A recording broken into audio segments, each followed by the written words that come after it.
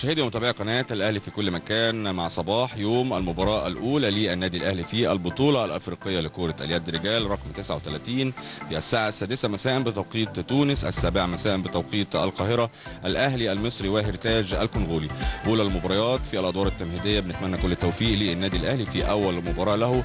يحصد نقاط المباراة وإن شاء الله يعود بكأس البطولة من تونس. أكيد هنكون مستمرين معاكم كل مشاهدينا ومتابعينا في رسالة خاصة هنا من مدينة تونس وبالأخص من مدينة الحمامات.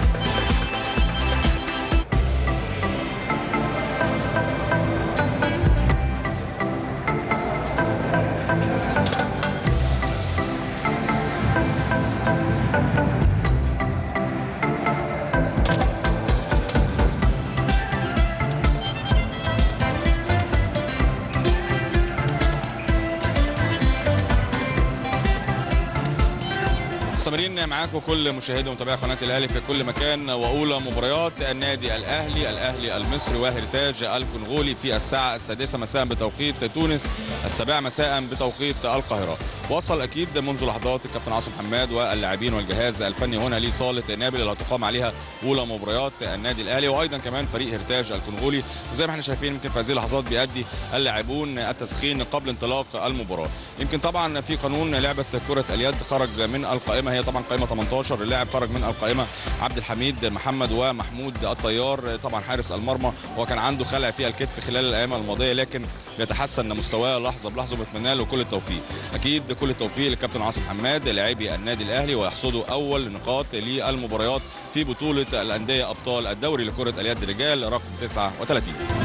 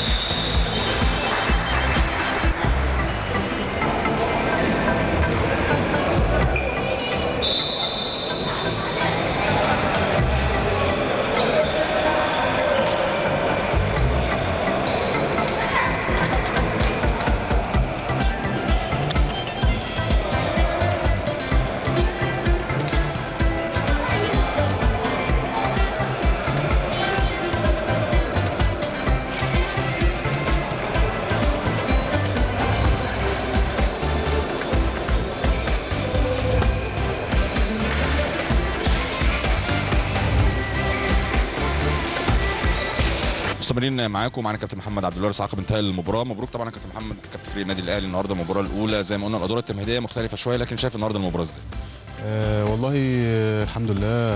ألف ألف شكر على المجهود اللي أنتوا بتعملوه بصراحة. آه، فريق عمل آه، هقول زي العسل. يعني وكان وشكوا حلو علينا الفترة اللي فاتت وإن شاء الله الفترة دي برضو تبقى وشكوا حلو علينا. آه، إحنا الفترة الدور التمهيدي ده دايما بيبقى يعتبر لينا كتمرين. آه، بنحاول نظبط آه، حاجات ناقصة آه، عشان هنا طبعا في الأول وفي الآخر برضو موضوع إن إحنا نتمرن في ما فيش ما, عندناش وقت إن إحنا نتمرن فيه ما بيبقاش فيه ملاعب إن إحنا نتمرن فيها. آه، فده الماتشات دي بالنسبة لنا بتبقى كتدريب يعني وحاجه كويسة إن إحنا نقدر نظبط فيها يعني. أخيرا المباراة القادمة شايفها إزاي؟ الأهلي وفانز الكاميروني المباراة الأهم هي الحمامات لكن هاخدها خطوة بخطوة كابتن محمد إحنا طبعا متعودين إن إحنا ناخد خطوة بخطوة. كل ماتش آه، لازم نعدي لازم نعدي الماتش عشان نوصل للي بعده. آه، أنا بركز طبعا على الفريق الجاي. الكاميروني آه، فريق محترم فريق قوي جدا. آه، إن شاء الله ربنا يكرمنا ويبقى تدريب لينا برضو لماتش الحمامات. آه، عشان ماتش الحمامات هو الماتش الأساسي هو الماتش المهم بس برضو هنرجع أقول برضو الماتش ده الماتش الماتش جاي. بالظبط بروفا أخيرة ولا لو لا قدر الله في أي مشكلة ممكن ما نبقاش موجودين فوق. فهي دي آه، إحنا لازم خطوة بخطوة ربنا يكرمنا إن شاء الله ونرجع بالبطولة إن شاء الله. بيسعدنا في هذه اللحظة تكون معانا محمود عاصم حماد أحد نجوم فريق النادي الأهلي. مبروك. طبعا محمود النهارده أول مباراة. الأدوار التمهيديه إحنا عارفين المباريات بتتوالى المستوى بيبقى فيه يعني متوسط لكن قول لي النهارده المباراة بالنسبة لكم. كابتن عاصم اتكلم معاكم إزاي؟ آه، مباراة النهارده والله يا كريم آه، بتدخلنا في أجواء البطولة عشان البطولة أنا شايف إن هي أقوى من أي بطولة تانية آه، بخصوص إن هي بنشترك فيها الزمالك والترجي. آه، النهارده مباراة بتجهزنا إن إحنا نخش في البطولة ونخش في أجواء البطولة. الحمد لله الفرقة خدت الماتش بجدية و- والسكور كان عالي والحمد لله قدرنا إن إحنا نسيطر على الماتش من أوله يعني. ابرز تعليمات الكابتن عاصم سواء في الشوط الأول في المحاضرة في بين الشوطين قال إيه؟ وكان مركز معاكم عليه. آه، كان مركز آه، أول حاجة إن ما- إن إحنا نخش في الماتش محدش آه، يتصاب. آه، كل واحد يجيب نفسه في الماتشات اللي زي دي كل واحد يظبط إيده على ال- على الجون. الدفاع أهم حاجة إن إحنا مظبطين الدفاع نتكلم مع بعضينا. آه، زي ما قلت لك نخش في أجواء الماتش من من بداية ال- الدور الأولاني من بداية المجموعات. من بداية أول ماتش زي ما أنت شفت كده كل الفرق عايز تخش في أجواء البطولة. لأن اللي جاي طبعا أنت عارف آه، دور الثمانيه semi final كل الكلام ده ما بقاش فيه الاسم على اثنين يعني. أخيرا شاف المباراة اللي جاية إزاي؟ الأهلي وفاب الكاميروني هي المباراة القادمة. إحنا عندنا بكرة راحة لكن شايف المباراة اللي جاية إزاي؟ برضه أنا شايف إن هي زي آه، أول ماتش النهارده كده ناخده آه، بجدية نحافظ على نفسنا. نظبط دفاعنا. بعد كده هيبقى معانا ماتش ال- الحمامات اللي هي على أول وثاني مجموعة. ده طبعا برضه أنت عارف ما فيهوش هزار. بعد كده إحنا زي ما أنت عارف إحنا بناخد الماتش بماتشه وبعد كده بنركز يعني كل ماتش بناخده بماتشه وبعد كده إيه نخش على على اللي بعده إن شاء الله. أتمنى إن ربنا يوفقنا إن شاء الله في البطولة بإذن الله. وبكده تكون انتهت رسالتنا اليوم. عقب انتهاء مباراة الأهلي وهرتاج الكونغولي استطاع النادي الأهلي أن يفوز في أولى مبارياته غدا. بالنسبة للنادي الأهلي راحة بعد غد ستكون المباراة الثانية للنادي الأهلي. الأهلي وفانز الكاميروني. كل التوفيق للنادي الأهلي كابتن عاصم حماد كل اللاعبين في المباراة القادمة. وزي ما قلنا مباراة الأهلي والحمامات هي الأهم في هذه المجموعة. متفائلين خير زي ما كل اللعيبة متفائلة إن شاء الله إن هي تعود بكأس بطولة الأندية الأفريقية لكرة اليد. هنا من تونس ويفرحوا كل جمهور النادي الأهلي.